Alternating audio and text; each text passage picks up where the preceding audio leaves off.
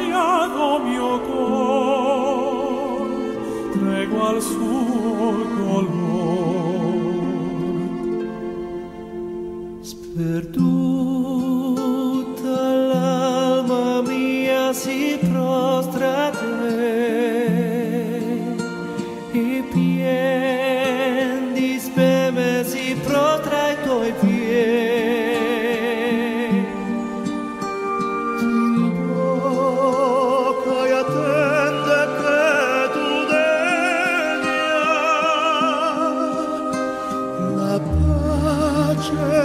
solo di voi.